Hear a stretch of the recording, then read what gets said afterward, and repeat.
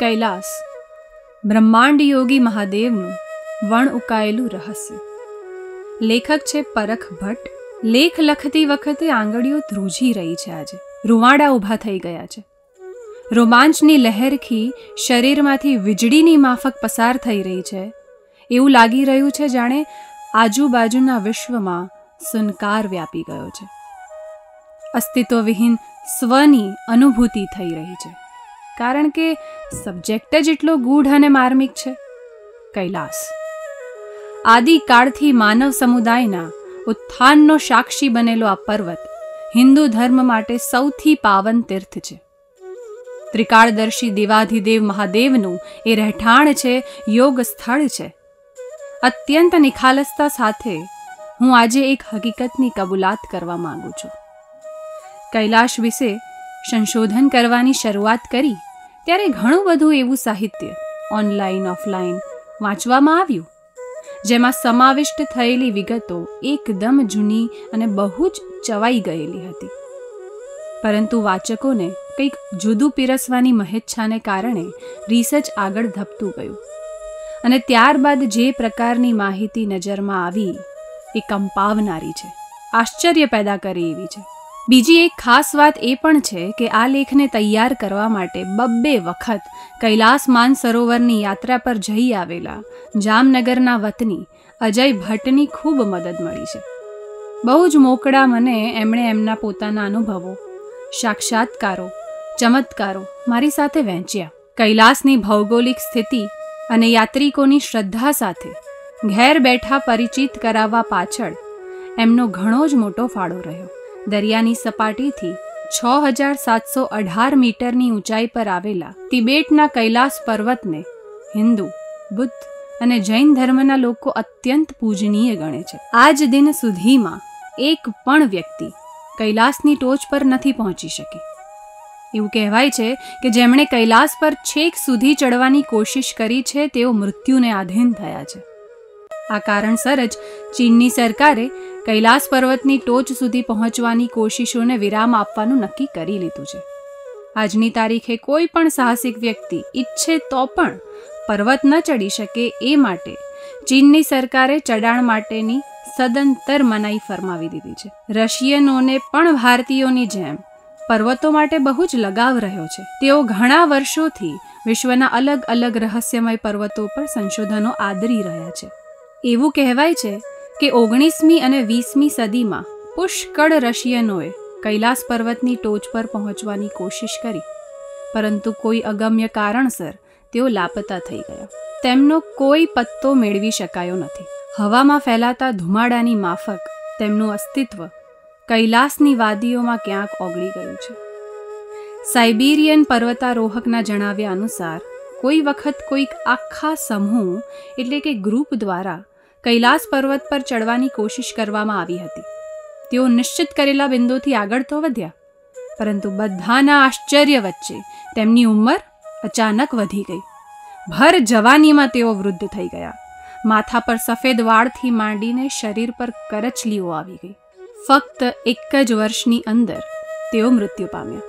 આ ઘટનાની પાછળ છુપાયેલી હકીકત કે તર્ક વિશે કોઈને કશો જ અંદાજ નથી. અચ્છા, કેટલાક લોકોનું માનવું છે કે કૈલાસ પર્વતમાળામાં જ ક્યાંક સંભાલા ગામનું અસ્તિત્વ હોવું જોઈએ. પુરાણોમાં સંભાલા ગામને શ્રેષ્ઠતમ રહેવાસીઓનું ઘર ગણવામાં આવ્યું છે. એવી માન્યતા છે કે સંભાલા ગામમાં પરિપૂર્ણ એટલે કે ક્ષતિરહિત માનવોનું સામ્રાજ્ય છે.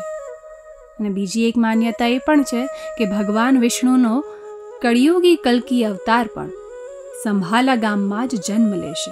ઓગણીસો નવ્વાણુંની સાલમાં રશિયન ઓફથેલ્મોલોજિસ્ટ એટલે કે આંખના નિષ્ણાંત અર્નસ્ટ મુલ્દા શેવે દિબેટ જઈને કૈલાસ પર સંશોધનો કરવાનું નક્કી કર્યું. ભૂસ્તરશાસ્ત્ર ભૌતિક વિજ્ઞાન અને ઇતિહાસના નિષ્ણાંતોથી ભરેલી એમની ટીમનો હેતુ સ્પષ્ટ હતો. કૈલાસ પર્વતમાળામાં છુપાયેલા ગર્ભિત રહસ્યો શોધી કાઢવા. કેટલાય મહિનાઓ સુધી એમણે તિબેટિયન લામા સાધુ સાથે વસવાટ કર્યો. કૈલાસ પર્વતની અથથી ઇતિ સમજવાની કોશિશ કરી અને તેની તળેટીમાં રહીને સંશોધનો કર્યા.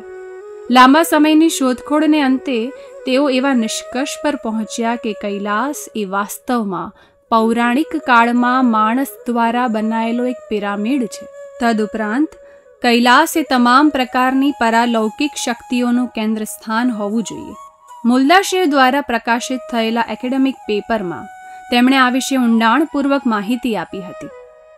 તેમણે પોતે અને તેઓની ટીમે ઘણી વખત કૈલાસના નાભિસ્થાનમાંથી આવતા અવાજો સાંભળ્યા હતા. અડધી રાત્રે સંભળાતો એ નાદ ઘણો જ જુદા પ્રકારનો અને રહસ્યમય હતો. એક રાત્રે તો એવું પણ બન્યું કે ટીમના બધા જ સભ્યોએ પર્વતના વચલા વિસ્તારમાંથી અંદર ખાને પથ્થરો ગબડતા હોય એવા અવાજ સાંભળ્યા. તેમને એવું પ્રતીત થયું, જાણે કૈલાસ નામના વિશાળ પિરામિડની અંદર. હજુ પણ, ક્યાંક, માનવ વસવાટ હોવો જોઈએ, જે સદીઓથી ત્યાં છુપાઈને પોતાનું જીવન વ્યતીત કરી રહ્યો છે. મુલ્દાશેવ આ અંતર્ગત જણાવે છે કે તિબેટિયન સાહિત્યોમાં પણ કૈલાસની ઉત્તર પશ્ચિમે આવેલા સંભાલાનો ઉલ્લેખ જોવા મળે છે. પરંતુ એને વૈજ્ઞાનિક દ્રષ્ટિકોણથી સમજાવવું મારા માટે મુશ્કેલ છે.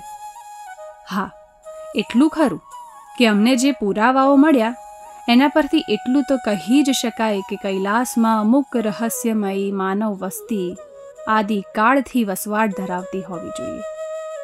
આ ઉપરાંત તેમણે કૈલાસ પર્વતના સમગ્ર સ્ટ્રક્ચરને માનવના ડીએનએ એટલે કે રંગસૂત્રની જોડ સાથે સરખાવ્યું છે. અજય ભટ્ટ સાથેની વાતચીતમાં એક મહત્વપૂર્ણ વાત એ જાણવા મળી કે કૈલાસ માનસરોવરની યાત્રાની શરૂઆતમાં જ પ્રત્યેક શ્રદ્ધાળુને એક રુદ્રાક્ષ માળા આપવામાં આવે છે. એવું કહેવાય છે કે આ માળા સમગ્ર યાત્રા દરમિયાન વિઘ્નો સામે એમને રક્ષણ પૂરું પાડે છે. એમનો સ્વ અનુભવ એવો રહ્યો છે કે કૈલાસ યાત્રા દરમિયાન ઘણા યાત્રિકોને શ્વાસોચ્છ્વાસમાં ઓક્સિજનની કમી વર્તાય છે. પરંતુ એક સમય એવો આવે છે જ્યારે ભગવાન શિવ પ્રત્યેની આસ્થા જ એમને ભયમુક્ત બનાવીને આગળ વધવા પ્રેરે છે. કૈલાસ પર્વતનું અલૌકિકપણું આશ્ચર્ય પેદા કરે એવું છે. ઘણા યાત્રિકોને પર્વતમાળામાં સ્વયં મહાદેવના બંને નયનના દર્શન થયાના દાખલા નોંધાયા છે. નટરાજ સ્વયં આવીને આશીર્વાદ આપતા હોય એવા પ્રકારની અનુભૂતિ અહીં સામાન્ય છે. પોતાનો અનુભવ મને જણાવતા અજય ભટ્ટ કહે છે, કૈલાસ એક અનુભૂતિ છે. શૈવત્વને સમર્પિત થઈને સમગ્રમાં એકાકાર થઈ જવાની સુધીની યાત્રા. કૈલાસ પ્રવાસ શરૂ કરો. એ વખતે બની શકે કે અનેક પડકારો નજર સમક્ષ ઊભા હોય.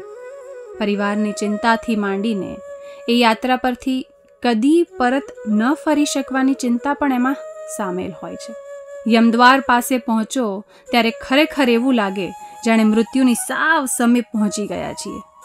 કહેવાય છે કે કૈલાસ સુધી પહોંચવા માટે નવો જન્મ લેવો પડે છે. યમદ્વારમાંથી પસાર થયા બાદ માણસનો બીજો જન્મ થાય છે એમ હિન્દુ ધર્મનું કહેવું છે. એવી માન્યતા છે કે યમદ્વાર ઓળંગી જનારા શ્રદ્ધાળુઓની બાકીની યાત્રા અત્યંત સુખદ અને સ્વાસ્થ્યપ્રદ નીવડે છે. તેમની મુશ્કેલીઓ જાણે ભગવાન શિવ પોતે ઓછી કરી રહ્યા હોય તેવો અનુભવ થવા લાગે છે. અને હા, કોઈ પણ અપવિત્ર આત્મા ક્યારેય યમદ્વાર પાર કરીને આગળની યાત્રામાં જોડાઈ નથી શકતો.